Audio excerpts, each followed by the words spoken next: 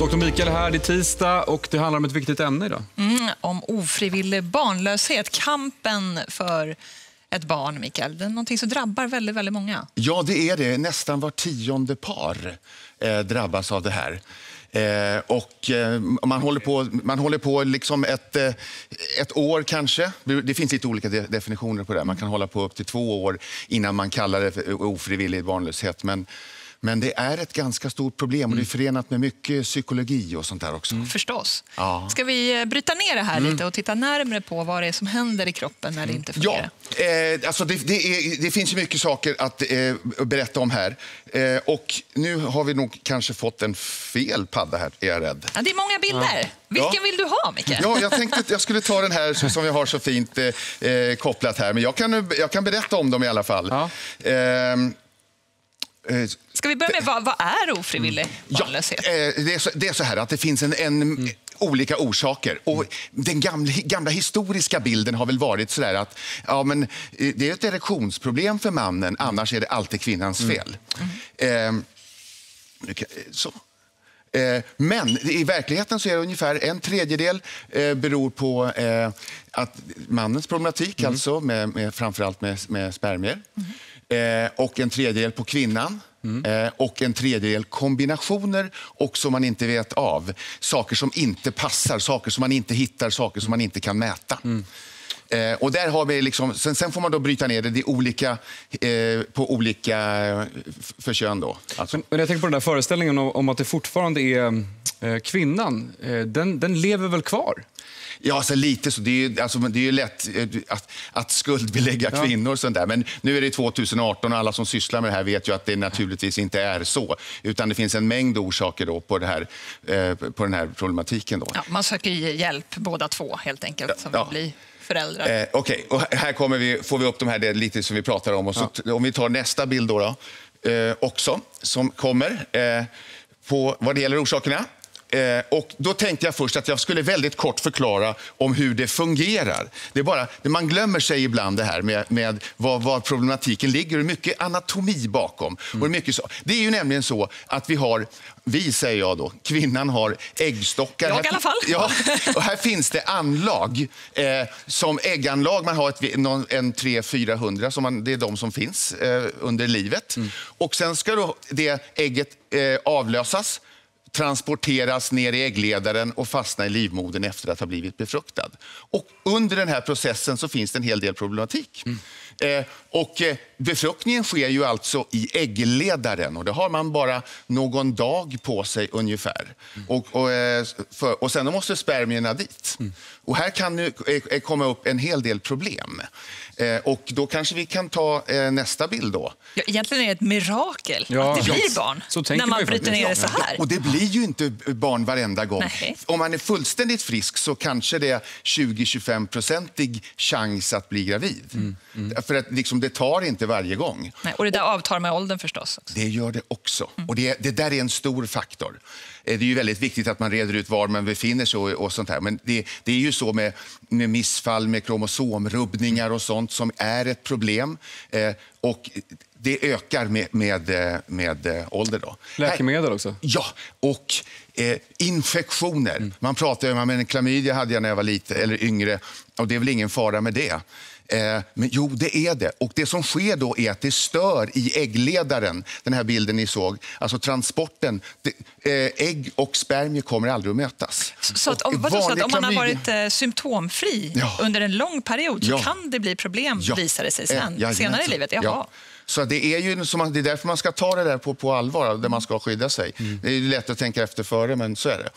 Sen har man då kromosomrubbningar. Det har vi både på manligt och kvinnligt. Alltså sådana som inte Vad innebär det då? Ja, det, alltså, det upptäcks inte. Man har till exempel, eh, i vanliga fall har vi eh, XY. Ja. Eh, då ett X och ett Y för, för män och XX för kvinnor. Men om man får en extra, som man har något som kallas för Klinefelter syndrom, upptäcks inte ibland förrän i puberteten eller när man vill ha barn. Då är man steril. Kvinnor har samma, de kan ha X0. Man har bara X men ingen Y alls. Blir kortvuxen, upptäcks inte förrän man har, eh, vill ha barn. Ja, så det är så. Man kan gå ett helt liv utan att ens känna Ja. av det förrän det är dags att skaffa barn. Då plötsligt Ja. dyker det här upp. Och kanske. då, är det, alltså, då har man 47 kromosomer eller 45 när, alla, när, den, när den större delen av populationen har 46. Ja, det är ju fler bakomliggande orsaker än vad man egentligen tänker. Ja. Och läkemedel då, bara så en enkel sak som värktabletter stör ägglossningen. Sen kommer ju en annan grej.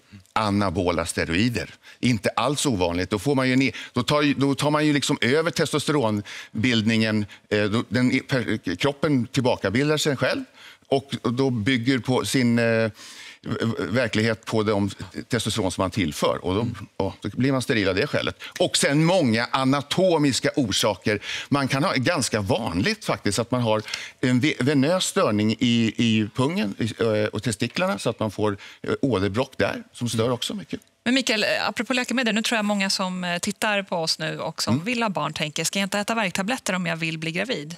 Alltså det, men det är just för ägglossning. Inte, nej, det ska man inte göra. Svaret är så. Precis. Men, alltså, men det är inte irre- det är reversibelt. Det, är inte för resten av livet. och så. Ja, okej. Men just när, under de tillfällena, då man kan det mycket, my- mycket väl störa. Ja. så. Eh, om, vi, om vi går vidare här så ska vi se.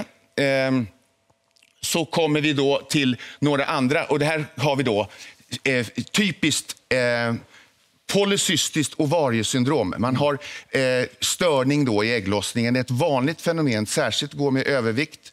Eh, och man har alltså får cyster i, i äggstockarna istället och får alltså ingen ägglossning och då finns det inget ägg att befrukta. Äggledaren har jag pratat om. Här har man alltså en störningar, infektioner, andra saker. Det här kan man kolla ganska väl. Och det gör man också under utredningen. Sen har man detta eländiga med endometrios. Det är alltså slemhinna från eh, livmodern då, som kan komma på lite olika platser i buken. Och det blir, den blir icke-fungerande, så ett befruktat ägg fastnar inte. Eh, och sen har man då anatomi av andra skäl, alltså för kvinnor då till exempel eh, något som vi kallar, man kan ha polyper i livmodern, man kan ha myom eller muskelknutor. Det finns en hel del saker som kan störa. Och det här måste man ju reda ut. Då. Och det här eh, utreder man då alltså om man söker hjälp till exempel efter ett Eh, vi, ja, vi, vi går vidare ytterligare här. Och kommer då till utredning och behandling. Och Då börjar man att titta på det som är enklast. Alltså, det är ju egentligen, vilket man kan göra ganska lätt, det är att titta på spermierna och hur de fungerar. Och om ni tittar, vi har faktiskt en liten bildsnutt. Eh, och här ser man då, som vi startar, och då ser man att en stor del av spermierna ligger helt stilla. Några har två huvuden, sitter inte alls, eh, fungerar inte. Är de Här- helt odugliga? Ja, alltså man måste ha en 60-70 procent fungerande för, för att man anser sig kunna få det. Hur det ser här, det frisk ut? Då rör sig i alla fall, i stort sett allihopa rör Okej. sig då. Eh, och här är det väldigt många som ligger still. Okej, okej. Och Det här kan man se ganska lätt och snabbt eh, och få, få en uppfattning. Och Då kan man sen därifrån, om man nu hittar på det här, gå vidare till att se vad man ska göra. Eh, och man, man kan på olika sätt göra med då, eh, det här som heter in vitro-fertilisering, eller IVF. Eh, och Det är alltså provrörsbefruktning. Och, eh, eh, eh, jag säger alltid fel, jag säger befuktning. Det heter befruktning. eh, och då kan man på olika. På vilket stadie man tar i. Ja, precis. Och då kan man alltså implantera det befruktade ägget då, eh, eh, i, i livmodern och få det att att fastna. Och så kan man göra det några försök. Och det gör landsting på lite olika sätt, men alla har åtminstone tre försök. Och det här sker ju inom, inom ramen för landstinget. Då, på, jag tror vi har en 15-16 specialistkliniker i, eh, i landet. Om man inte är för gammal ska vi tillägga. Just för det. där spelar åldern stor roll. Det är alldeles riktigt. Och då kan det vara så att man får, i vissa fall, då, då, då avtar ju möjligheten. Men då kan man alltså få finansiera det där själv. Vanligtvis går det då, själva utredningsbiten går fortare då. Men då pratar vi 25-30 000 kronor per försök. Men man kan, och sen kan man då, om man har spermier som inte rör sig överhuvudtaget så kan man ändå hämta ut dem, injicera dem i ett ägg och sen eh, sätta, eh, sätta dem på plats. Här kan man också eh, ha en donator. Eh, så man måste liksom, om man har icke fungerande spermier så kan man ett par till exempel ha den ena eller andra. Man måste ha antingen ägg eller spermier för att få det Ja. Blir tekniken, tänker jag, blir den bättre här? Ja, det blir den. Man blir, skickligare på att, att befrukta äggen och ta hand om dem. Sen är det att det, tar lite sämre. Det, finns en, det beror lite på man, hur man väljer de här grupperna, men det är en liten ökad risk. Man kan ju få en infektion när man, när man gör en, en eh, när man för in det här och, sti och sticker och sätter ägget på plats och såna här saker, eller att det tar lite sämre. Så, Men, eh, men man har kommit väldigt långt på det här. Det, och man hjälper ungefär två tredjedelar. Så ni tänker, Oj, det är jättemånga. Ja, var, var tionde som inte kan så hjälper man alltså nästan 70 procent av dem att få barn. Då. Så att, eh, ja. Jag tänkte också på det här med eh, livsstil och psykisk stress som vi nämnde i början. Ja. Hur mycket spelar det in, undrar man ju. Ja, och då, då, då tänker man, kan man stressa en spermie och spermiebildning? Det, tro, teorin är, nej det kan man inte. Vad är det då man stör med stressen? Det är mest, och nu kommer jag här och då, då blir, det, blir det ju kvinnan igen då. Och då är det ägglossningen och det här vet man nog ganska väl. Att det är ägglossningen som störs och man har inte den. Och det är därför många som säger att när jag slutade att stressa och allting så här, då kommer det igång blev igen. det. Men det här med värme då? Nu går jag tillbaka till spermierna. Ah. Har man ju hört. Är det en myt? Nej, det är ju spännande också. Det här med, med eh, eh, värme. Alltså, och det, det är därför vi har en pung överhuvudtaget. Det är 34 grader där för att man, de ska bildas som, de, som det är tänkt. Och är det varmt och man sitter i bastun, då blir det väldigt eh, slappt. Då hänger pungen ner om man säger så. Är det kallt och man är ute eh, eh, och då dras det upp eller man badar kallt och sånt där. Men om man har ett par kalsonger som är jättetajta som håller upp testiklarna eh, om man har dem dygnet runt, vilket är, man sover med kalsonger på och sånt där, då bildas det inga nya spermier.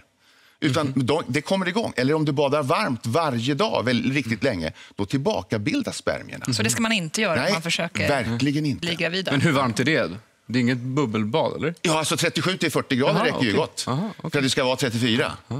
Så att de, de är känsliga för det där också. Så att, eh, ja, det gäller ju att tänka till. Men man kommer ju naturligtvis, det ser man ju när man gör när man, eh, när man gör liksom en, en utredning om man tar ett spermieprov, då ser man det riktiga man tittar på, naturligtvis rörelse, men hur många det är. Men det är ju rätt, det är ju unikt att vi står här, för vi är ju en av hundra miljoner. Alla har vi vunnit. Alla har vi vunnit i det avseendet. Så att eh, det är spännande. Jag tänkte bara en sista fråga. Eh, går det att till exempel äta någonting för att, det ska, för, för chanserna ska maximeras? Nej, det gör det inte. Det är en in- myt. Ja, det, finns, det är inte kostberoende. Det är, bra, det är bra- det är att må väl, alltså. men, men ingen speciell eh, kost som gäller. Men det finns ju en metod till, och det här avslutar vi väl med att säga, som är väldigt känslig och det är det här med surrogat. Ja. Man kan alltså befrukta ett ägg och implantera det hos en kvinna som bär det, som då inte på något sätt är släkt. I Sverige kan vi inte göra det. Nej, det kan vi inte göra. Men utomlands så går det. Ja. Mikael, tusen tack för att Ja. du avlivade några myter och förklarade allt kring eh, ofrivillig barnlöshet. Ja, eh, vi ska tipsa om Läkarpodden som handlar om samma ämne. Den har eh, premiär idag, finns på, där poddar finns.